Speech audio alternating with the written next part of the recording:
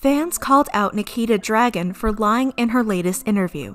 Before I get into the tea, I just want to put out a disclaimer.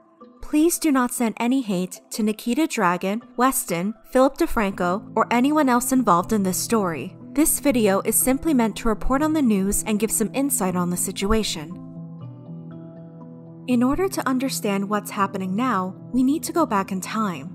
In 2015, Nikita Dragun moved to Los Angeles and enrolled in a beauty marketing and product development program at the Fashion Institute of Design and Merchandising. They offer a two year associate and a four year bachelor degree program. On June 13th, Nikita posted a video from her graduation where she received her diploma and wrote, Uneducated, dropout, beauty but no brains, don't know her. Not too long ago, I strutted across stage to receive my bachelor's in beauty business and marketing. I attended school full time when I moved to LA, and trust me when I say everyone was not expecting me to finish. I was living a Hannah Montana lifestyle, going to class by day and living my internet princess fantasy at night. I never shared who I really was or what I did. Sometimes they would even present on beauty influencers, me, not knowing I was sitting in class. Once they found out, people became vicious thinking I was stuck up or I had an advantage. There was so many times I wanted to quit, but I wanted to prove to myself that I could do it despite what everyone else said. I ended up graduating first in my class, and now only a year later created my own successful beauty company. On August 22nd, YouTuber Weston posted a video about his experience being in the same program as Nikita. She only did the associates program.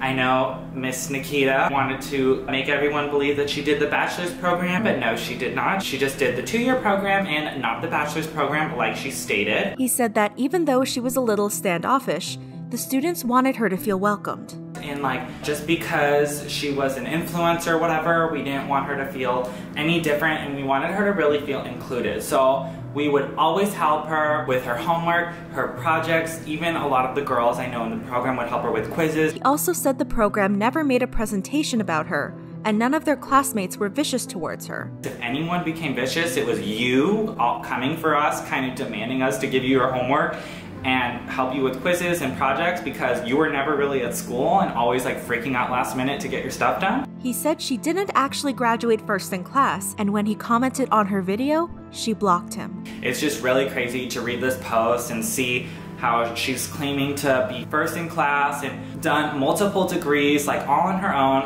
when we all know the real story and we were all in there and know the truth. And that comment got like a lot of likes from people who went to FIDM, outside people, and before I know it, just like that, blocked, deleted, removed. And she even went in and checked who liked that comment and started blocking everybody, which was a lot of people who helped her. He ended his video by saying people shouldn't always believe what they see. I just know there's been so much going on and I don't really want to add to the fuel and add to the fire, but I'm just sick of people just using people and just hopping over people to just get further in their career. I just don't really think that's right, and I would never do that personally. Several people commented on the video, calling Nikita a liar. Nikita is a compulsive liar. She makes up scenarios and a life she does not have. I went to high school with her. She claims to be from a small town in Virginia, when really we lived in a freaking suburb of DC, a very liberal and accepting area. I just can't understand how people would still believe her after all the fake boyfriend nonsense, LMAO. However, others defended Nikita, saying people should worry about their own lives. How about you worry about your own life? People love bringing up the past to make people look bad. Jealousy is a disease. Getting clout off Nikita now, are we? Hmm, maybe we should just learn a little from Jeffree Star and before we get into a scandal, shut your mouth and mind your business. Thanks, sweetie. To be honest, who cares? She lied. This happened years ago. Why bring it up now? How does it benefit you or anyone in any way besides exposure? I don't care for her character, but the she did didn't affect you graduating. On October 2nd, YouTuber Philip DeFranco interviewed Nikita and brought up her school controversy. You go to this school, right? Um, apparently, you say that you wait. I gotta look. You you graduated top of your your class. You uh, lived this Hannah Montana lifestyle where no one knew who you were, but then you'd kind of kind of go home and you're living out this fantasy. Um, and I was going to ask you about that initially, and then I saw that there are claims that that is not true. That people knew who you were.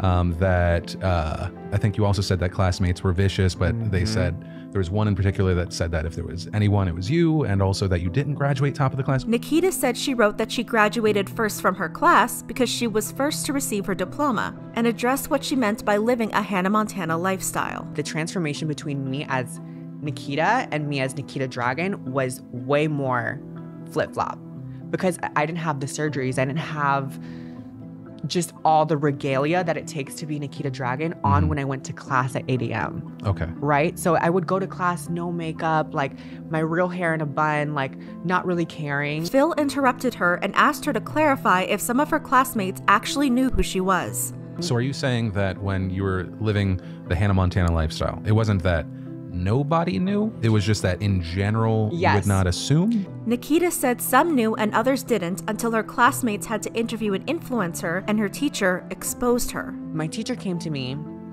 and she was like, Nikita, like, why aren't you using your friends? Why aren't you using your contacts? Why Mm. aren't you doing this, that, or whatever?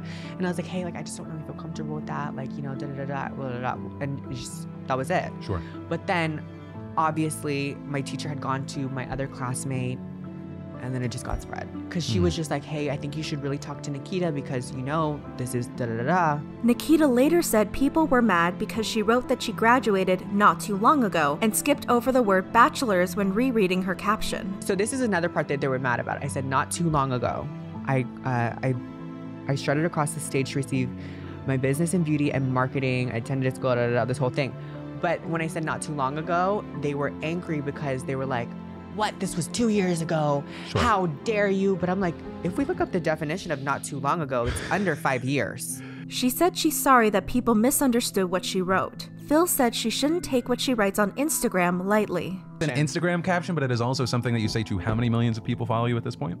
Only a couple. It's It's only says I'm just it saying. only says so- 55 on my so- account. so- Several people were upset that some issues weren't addressed. Slightly upset that the bachelor's degree wasn't addressed. I truly didn't believe anything she said in regards to the whole graduation thing. She literally skips over where it says, My bachelor's in business and beauty. Here are some things that was missed on the graduated first in class issue. She's saying she has a bachelor's degree, but others said it's associates. When she was called out in her Instagram post by her classmates and the actual top of the class, she blocked all of them. I mean, why leave those out? How you gonna do all that research and not bring up the original beauty community drama that she was also a part of? One person said they were at Nikita's graduation. LOL, yeah, I was at her graduation. She didn't get a bachelor's. I did though, in the same program. She may have walked first. If she sat first in line, they don't go in alphabetical order. But other people said they were impressed by the interview. I'm really impressed with how well spoken she is. I have no knowledge of her outside of Phil's coverage, and I was surprised to find that she was interesting and entertaining to listen to. Great choice for a guest. What a pleasant surprise. Nikita is a fascinating woman. I had no idea who she was until now. One of my son's best friends is a trans woman, and I know firsthand from her experiences how difficult being a trans woman really is. But good for Nikita being Nikita, and now I'm going to find her channel and start following her.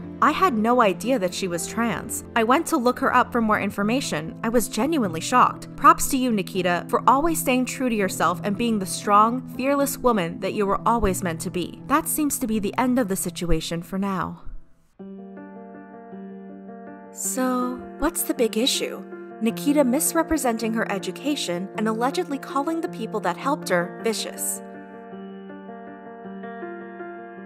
The way that Nikita misrepresented her education promotes the idea that people need a bachelor's degree to be successful. This could be discouraging to some people, considering college costs are rising and 83% of Americans can't even afford to attend. According to Value Penguin, a personal finance site, the average annual cost of attending a four year public college program in state is $25,290, whereas out of state is $40,940. In comparison, the cost of attending a four year private college program is $50,900. In the United States, a bachelor's degree has become a common requirement for many jobs that didn't previously require one, though some corporations make exceptions. And the culture around a mandatory college degree seems to be changing. During an American Workforce Policy Advisory Board meeting, Apple CEO Tim Cook said the company never really thought that a college degree was the thing that you had to do well, and that they always tried to expand their horizons. According to CNBC, some of the wealthiest and most influential entrepreneurs in the world dropped out of college, including Steve Jobs,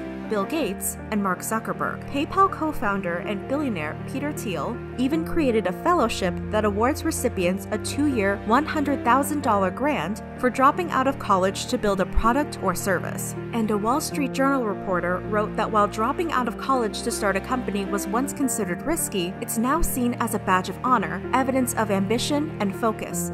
Very few dropouts become tycoons, but failure today often means going back to school or taking a six figure job at a big tech company. Nikita not mentioning her classmates helping her graduate is part of the American ideal of effortless success. Personal finance coach Ramit Sethi said that America loves to celebrate effortless success. So if you talk about the exact way you're successful, whether it's in dating, money, or fitness, the backlash comes quickly. He added that every successful person has unglamorous habits that shape their attitude and set them up for success, such as spending thousands of hours on an activity. Author Jim Cullen said there are two types of effortless success. First, economic riches that accrue from gambling, and second, celebrity success that comes from being beautiful or talented. He said that while hard work still matters, it's only relevant up to a certain point. However, it's also important to not lie when discussing your success. In a New York Times blog, entrepreneur Rebecca Campbell shared that an investor told her the real secret to success is to never, ever, ever tell a lie, and that lying is the number one reason people fail. Not because telling lies makes you a bad person, but because the act of lying plucks you from the present, preventing you from facing what is really going on in your world. Every time you overreport a metric, underreport a cost, are less than honest with the client or a member of your team, you create a false reality and you start living in it. Nikita acknowledges she's a role model and has previously said having a voice comes with responsibility. As a successful YouTuber turned entrepreneur, she should be mindful that what she writes, even on Instagram, could influence one of the biggest decisions people will ever make attending college. Success shouldn't be determined by whether or not someone chooses to go. And if they do, it shouldn't matter if they receive an associate's or bachelor's degree. Nikita is one of the many examples. She got her start on YouTube before attending college, received small brand deals at the time, and now runs a successful beauty company. She shouldn't be ashamed of her education, and society shouldn't condemn her either. What do you think about this story? Do you think people have the right to be upset? Let me know in the comments below.